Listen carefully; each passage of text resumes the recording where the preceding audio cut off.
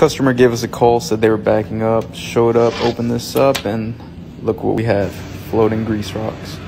Gonna pump it down so we can see the pump and find out what the issue is. Gonna pull up these floats right here. One of these floats activates alarm. the high water alarm. The other float activates the pump itself. Start pulling up the pump float and the other one See, slipped off and splashed in the face. Handy wipes. When these baby wipes get tangled up in the floats, they can sometimes prevent the float from kicking on and turning on the pump, so we were thinking that might be the cause of the problem. Yeah, then. Pulling these up a little more carefully to avoid splashing myself in the face Hold again. those two straight up.